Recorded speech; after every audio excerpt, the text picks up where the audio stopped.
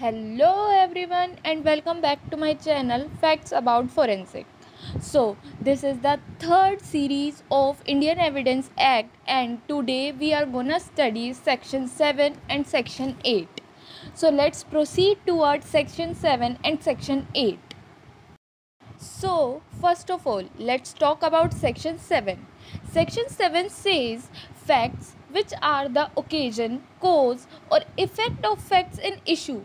Basically, those facts are considered as relevant. What are those facts? Let us take an example of murder case. If A murdered B, okay then there will be some struggle marks which can be present on the ground or nearby the crime scene. Okay then those marks will be considered as relevant as those marks are proving something that murder has committed or any struggle has been done there. And this basically proves that they, that is the crime scene or something has happened there. So that fact will be considered as relevant in court of law. Okay so now let's talk about section 8 section 8 says motive preparation and previous or subsequent conduct.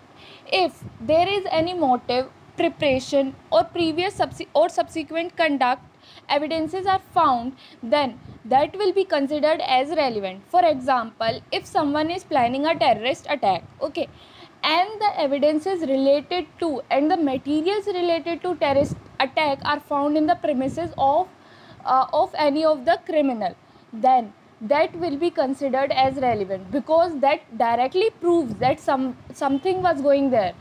Something was planned there and something has to be happened. So that thing will be considered as relevant fact which is basically told by our section 8 of indian evidence act so this was all about today's video. In today's video we have learned about section 7 and section 8 this video was short but if you haven't seen the previous videos you can go and watch on my channel. And i will be coming with new videos of indian evidence act and even with some new topics also.